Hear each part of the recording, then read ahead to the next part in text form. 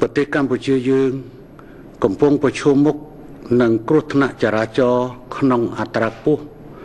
បើប្រៀបធៀបជាមួយនឹងបណ្ដាប្រទេសនានានៅក្នុងតំបន់អាស៊ីអាគ្នេយ៍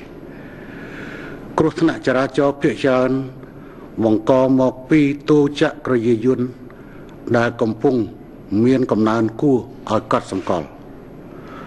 ផលវិបាកនៃគ្រោះថ្នាក់ចរាចរណ៍ពិតជាគ្រោះមហន្តរាយ ដ៏ធំធេងដែលជះឥទ្ធិពលធ្វើឲ្យប្រជាពលរដ្ឋយើង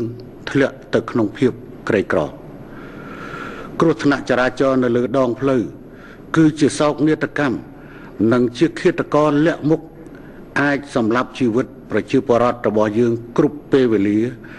តែយើងអាចកាត់បន្ថយគ្រោះថ្នាក់និងបញ្ចប់សោកនាដកម្មនេះបាន ប្រសិនបើយើងទាំងអស់គ្នាចូលរួមគោរព អនុវត្តច្បាប់ចរាចរណ៍ផ្លូវគោកទន្ទឹមនឹងការគ្រប់គ្រងកម្មវិធីនេះខ្ញុំសូមអំពាវនាវឲ្យប្រជាពលរដ្ឋគ្រប់វ័យទាំងអស់ពាក់មួកសុវត្ថិភាពឲ្យបានត្រឹមត្រូវរាល់ពេលធ្វើដំណើរតាមតូចក្រយានយានយន្តមិនថាបើកបរក្នុងពេលណា ទីកន្លែងណា ត្រូវតែពាក់មួកសុវត្ថិភាពទាំងអស់គ្នា ទាំងអ្នកបើកបរនិងអ្នក រួមដំណើរមួកសុវត្ថិភាពការពារអ្នកនិងជីវិតអ្នកមួកសុវត្ថិភាពមួយ ជួយជីវិតបានម្នាក់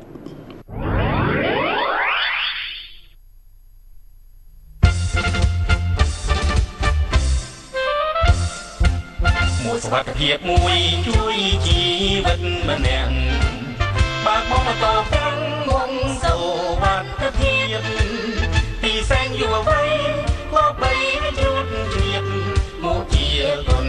ណភាពសម្រាប់ជីវិត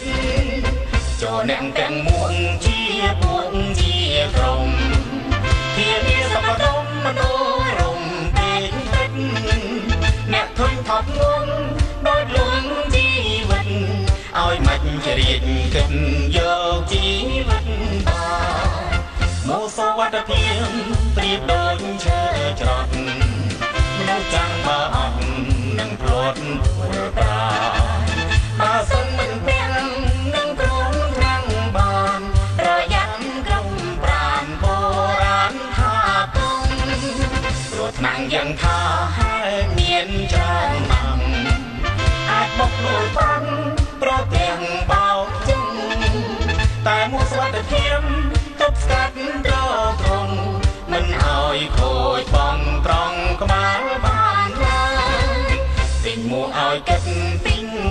និតគុណភាពផងសុវត្ថិភាពចំបងយ៉ាងផងត្រូវពាក់ឲ្យសុំមិនរបងឡើយស្រួលងៀងស្រួលងើយពាក់ខ្សែចង់កាទាំងនាងបើកបោតែល្អប្រសើរនាងរួមដំណើរប្រើមួងផងណាច្បាប់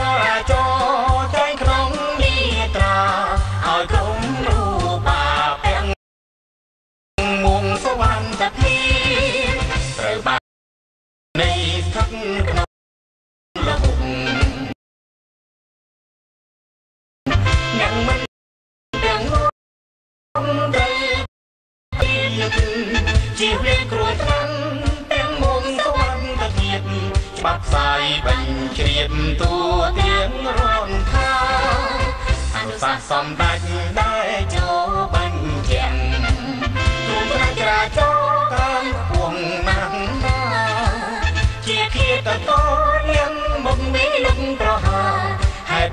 បដញ្ញាពាក់មួសវណ្ណភាព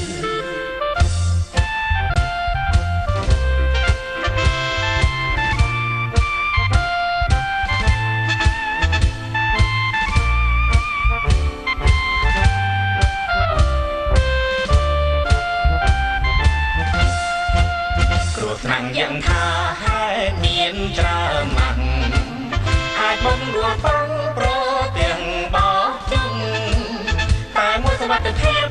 ទប់ស្កាត់ត្រត្រង់មិនឲ្យខូចបងត្រង់ក្បាលបានឡើយទិញមកឲ្យគិតពីគុនភាពផង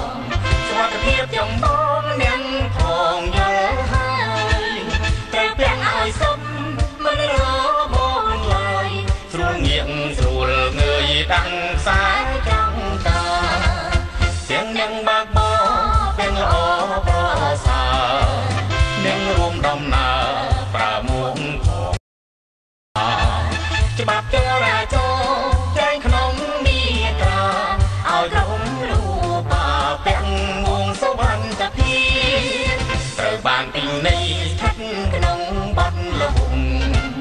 អ្នកមិនទាំងងងត្រូវតែជួនជ្រាបជាលៀងគ្រោះថ្នាក់ទាំងងងសវណ្ណភាពច្បាប់ផ្សាយបញ្ជ្រាបទូទាំងរដ្ឋខាអនុសាសន៍សម្ដេចដែលចូលបញ្ជាក់គ្រោះថ្នាក់ចរាចរណ៍កាន់ខ្ពស់ណាស់ណាជាខៀនតត